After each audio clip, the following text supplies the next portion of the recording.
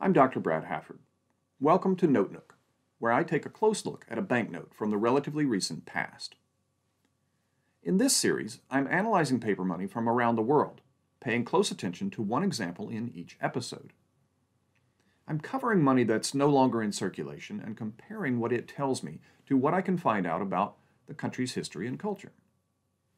As an anthropologist, I'm more interested in what money says than what it's worth, and it says a great deal about the government that issued it and the people who used it. Today, we look at a 50 peseta note issued in Spain in 1931. We begin by looking at the obverse, or front of the note. This side emphasizes the issuing authority and often carries an image of an important person from the country. In this case, the issuing authority is the Bank of Spain, El Banco de España, and it would pay the bearer of the note, pagará al portador, 50 pesetas. This emphasizes that paper money, at least in most of the periods in which it has been used, was a stand-in for what was considered real money, that is, silver or gold.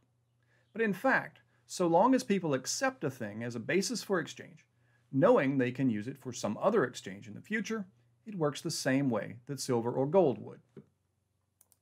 By specifically stating that a person could bring the note into the bank and receive 50 pesetas in silver, the user's level of trust was increased. The Spanish peseta in 1931 was 83.5% silver and weighed 5 grams.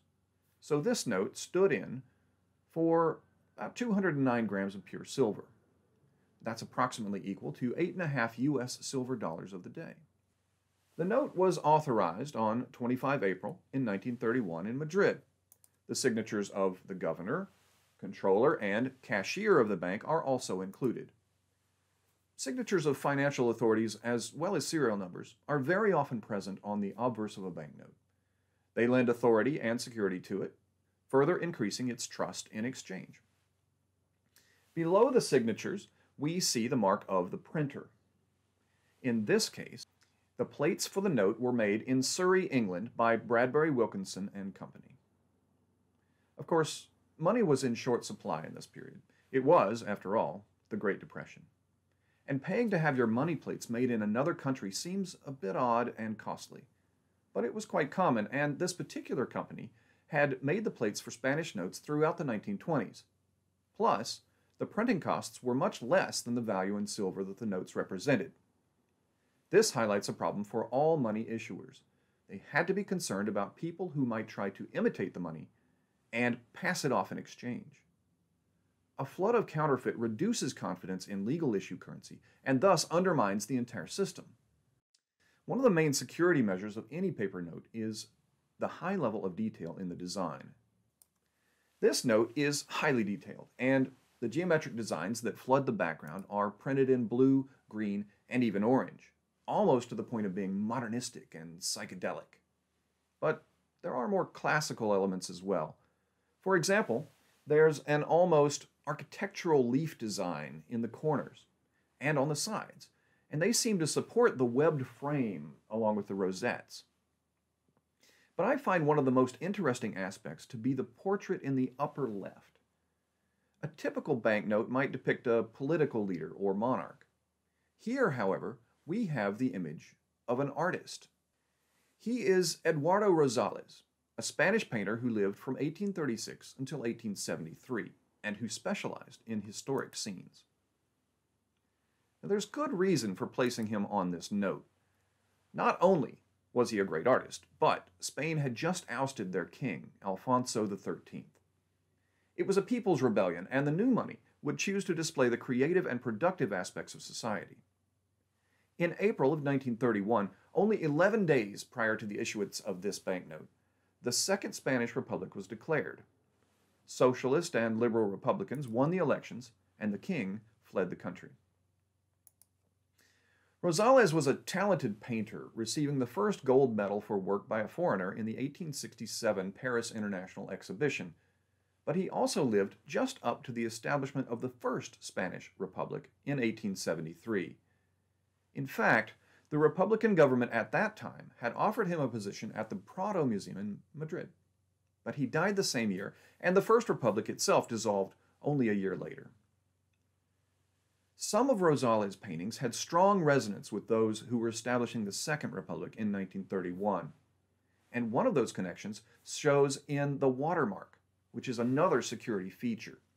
It's an area of varying thickness in the paper itself that shows a design when light shines through it.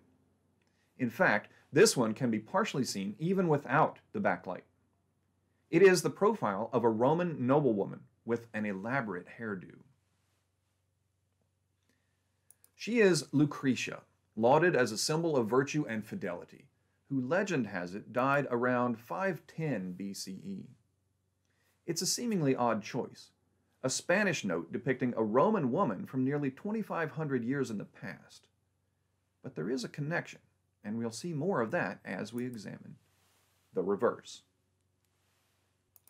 There's not a great deal of text on the reverse, simply a repeat of Bank of Spain, the assigned value, and the serial number, as well as the mark of the engravers.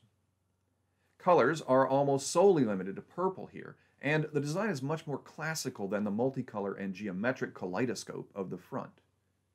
We see again a rather architectural frame, this one including columns that seem to support an arched frame, and there's a wreath and bow surrounding the number 50.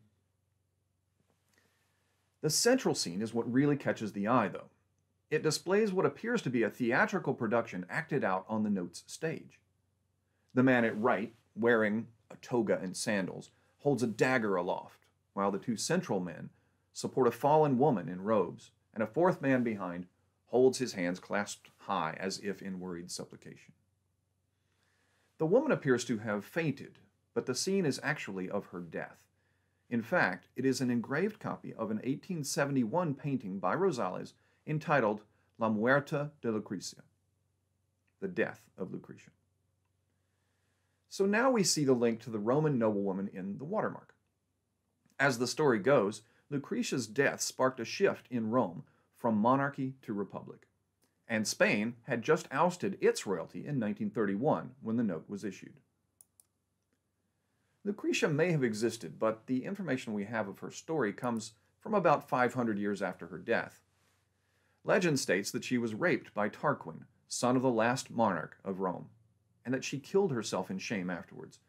The terrible injustice perpetrated by a member of the royal family caused the Roman people to rise up and overthrow the monarchy. The people's reaction is represented in the scene by the man at right, who holds the fatal dagger aloft as he vows vengeance for the assault.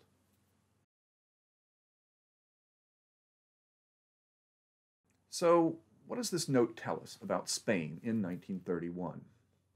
Like Rome long before, Spain was embarking on a republican government for the potential betterment of conditions for its people. The note is covered with symbolism to this effect, but it takes a good deal of research to recognize that fact. Spain had been neutral in the First World War, but it struggled with corruption in its government. After the war, various military dictatorships arose with little concern for the king. Banknotes of relatively similar look and feel to the 1931 50 peseta note circulated even in this period of the 1920s. The printing plates were created by the same company, and anti monarchical sentiment was already on the rise, so King Alfonso XIII's portrait did not appear. The Second Republic represented a people's uprising against both the king and the military regimes. It attempted to right many previous wrongs, but it often did this in a heavy handed way, creating resentment along the way. Some saw the laws as retaliatory rather than justified, and class strife increased. By 1933, the Radical Republican Party had taken control. Many felt the new regime was not legitimate, and violence erupted. When the Popular Front took control in 1936, more violence erupted, and Spain fell into all out civil war. Monetary issues in 1937 abandoned gold and silver, switching to emergency fiat money in paper and brass. This note was meant to herald a new age for Spain, but that new age was, in many ways, as problematic as the one that had come before. Eduardo Rosales' painting of the death of Lucretia had also been problematic in its day. Though it won a medal, it was heavily criticized for what has been called a disconcertingly modern technique of direct and vigorous brushstrokes. The criticism it received hit Rosales very hard. he never again painted a large scale work. Perhaps the Second Republic is somewhat analogous. Its disconcertingly modern technique was one of elections and workers' concerns, but these were pushed perhaps too directly and vigorously for the time, and so they met with much resistance that eventually led to a collapse of the larger scale work. But today, Rosales' painting hangs in the Prado, praised as a masterpiece. The Republic, too, at least for its Civil War years in opposition to the fascists under Francisco Franco, should be remembered. I hope you enjoyed looking at this note with me. I'm Dr. Brad Hafford. Join me again next time on Note Nook, part of my series, Money Talk.